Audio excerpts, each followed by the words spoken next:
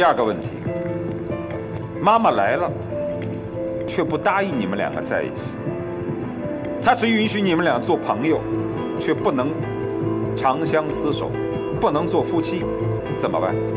我会跟妈妈争取，向她说明我和肖波在一起真的是非常的幸福。嗯，我们在一起也能够照顾彼此。如果妈妈依然是非常的反对，那我会尊重他的意见，会听从妈妈。我知道郝建妈妈的担心，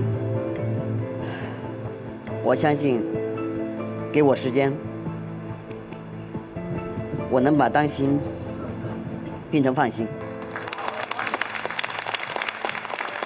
我们一起倒数五个数：五、四、三、二、一。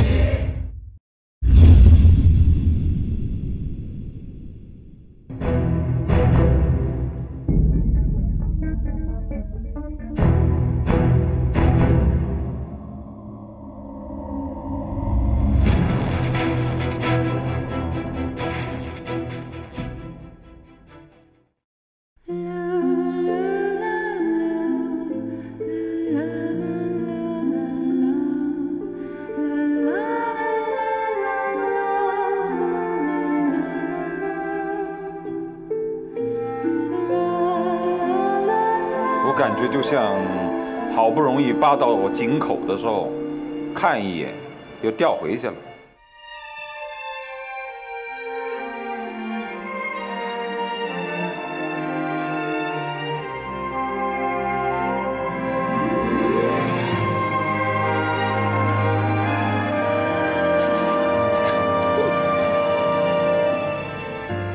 我不会放弃的。郝静的妈妈没有选择来到现场，但是她却在第二现场痛哭流涕。